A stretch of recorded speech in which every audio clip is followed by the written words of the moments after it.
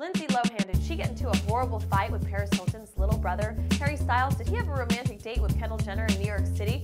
And Heidi Montag and Spencer Pratt, are they really attacking the hills?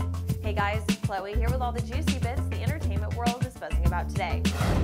Lindsay Lohan was down in Miami for an exciting event called Art Basel that all the celebrities were at. She happened to stay at a mansion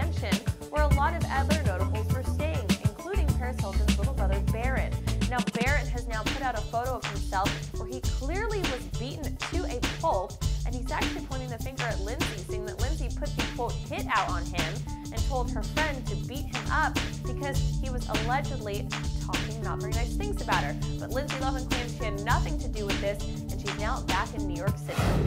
Harry Styles was in New York City with his other One Direction bandmates because they are preparing to perform on SNL on Saturday night. But who came up there to support Harry? That would be none other than his alleged new girlfriend, Kendall Jenner. They both stayed at the Gansevoort Meatpacking Hotel and were spotted leaving the hot new restaurant,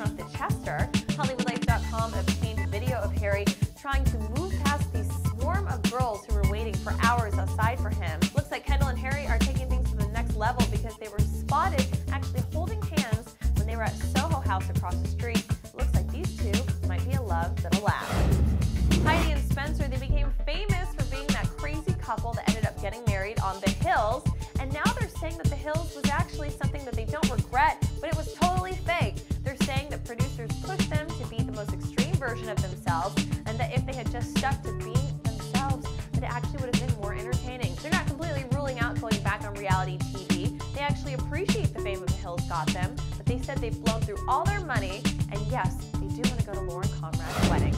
These are just a few of the juiciest bits from today, and for more on Harry Styles and Kendall, click here. For the latest on Lindsay Lohan's legal troubles, click here. For all things Hollywood, log on to HollywoodLife.com and stay tuned to ENTV